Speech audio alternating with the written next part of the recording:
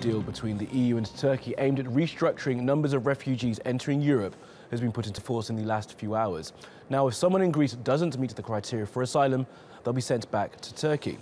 The first two groups of people to be returned boarded ferries on the Greek island of Lesbos and Chios. They were mostly from Pakistan and were taken to the Turkish port of Dikili.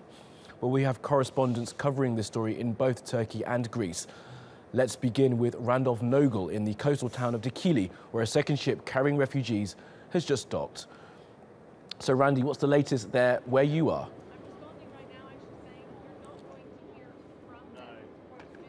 Well, it appears now three boats, uh, three passenger ferries, I should say, have pulled up here just off the Turkish coast. One has come and gone and off offloaded the migrants. Uh, another is now offloading migrants, and a third is sitting out at sea. Now, the migrants are being taken one by one by police to the to several tents that have been erected on the dock. There, they're being fingerprinted. Their names are being taken, and those that need help are being given uh, medical care. We did see one, at least one person being carried off in a medical, uh, on, on a stretcher. Now, the plan, according to police sources, is to load them onto buses for a long journey north to a camp uh, in a town on the Bulgarian border. Authorities there will decide what to do with them next.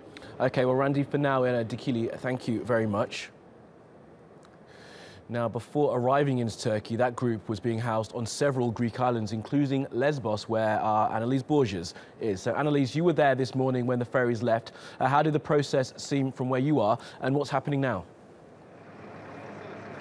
Well, 131 uh, people were escorted by Frontex officers from the detention center they were being held uh, here to the port of Mytilene. This is where they boarded those ferries uh, that departed to Turkey at around 7 a.m. local time.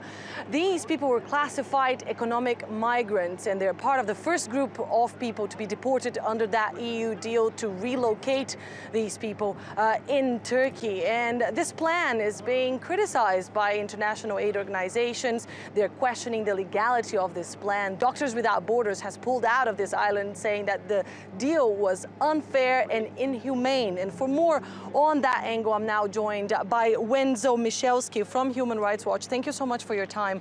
What is your position on this deal? What is human rights position on this deal?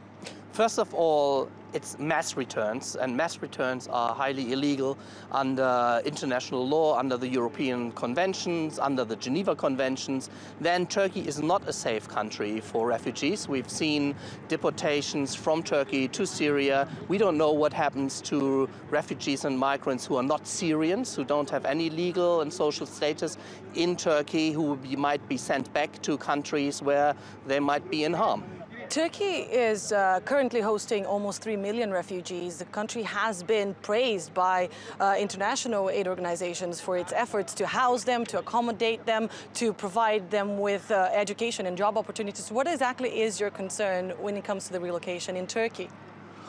Sure, um, I mean, uh, Turkey has done really a lot, but uh, we have uh, very good camps. We've seen very good camps in Turkey, but uh, they are not big enough. There, there need to be many more camps, and the international community has to help Turkey to set them up, and has, hasn't happened yet. And also in Greece, we don't know how these people are handpicked. What is happening when all the media is gone, when they are starting to deport uh, women and children, which is also highly illegal.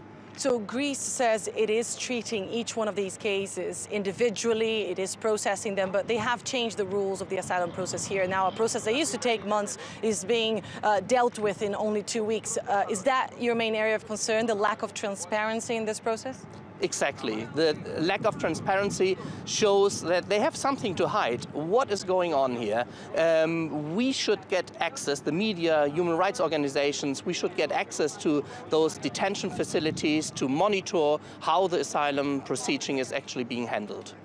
Wenzel Michalski, thank you so much uh, for your time today. Uh, so lack of transparency is one concern, is also lack of efficiency uh, of uh, this deal, because of course, uh, many people here don't believe that this will deter refugees. We have seen in the last few hours more people continue to cross the Aegean Sea. In the last few hours, here on the Greek island of Lesbos, at least 57 people have arrived.